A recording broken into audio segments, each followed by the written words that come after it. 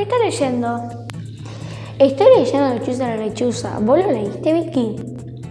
¿Viste que las lechuzas son iguales a los búhos? Los búhos y las lechuzas no son iguales, son parecidas.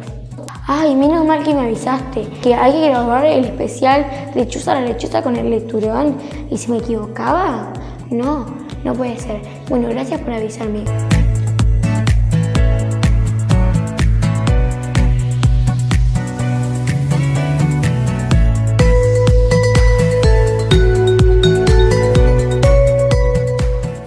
Lechuzas son aves rapaces, nocturnas y carnívoras, aunque algunas especies pueden tener mayor actividad durante el día.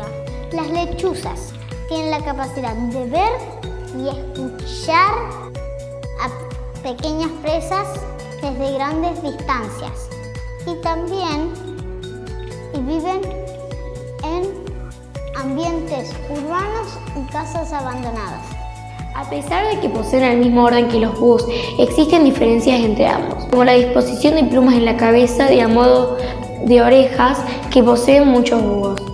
Las lechuzas tienen el cuerpo más pequeño que los búhos y sus cabezas en forma triangular o de corazón. Generalmente se alimentan de pequeños vertebrados, como ratones, lagartos y murciélagos. También de lombrices, arañas y otros insectos. ¿Sabían que los romanos creían que las lechuzas eran aves funerarias? Como vuelan en la noche decían que eran aves de la muerte. Sin embargo, en el norte de Argentina, los pueblos originarios creen de buena suerte y que atraen el dinero. ¿Sabías que, que creían en Rumania que el sonido de las lechuzas era un lamento?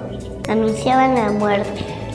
Es decir, que alguien iba a morir. Muchos tipos de lechuzas con sus alas pueden cazar animales o todo tipo de presas en los bosques.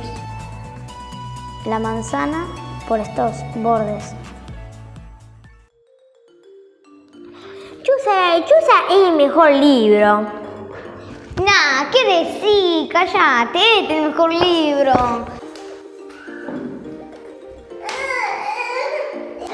¿Qué hacen? ¿Qué hacen? Están peleando como bebés. ¿Qué les dijo Bubujina?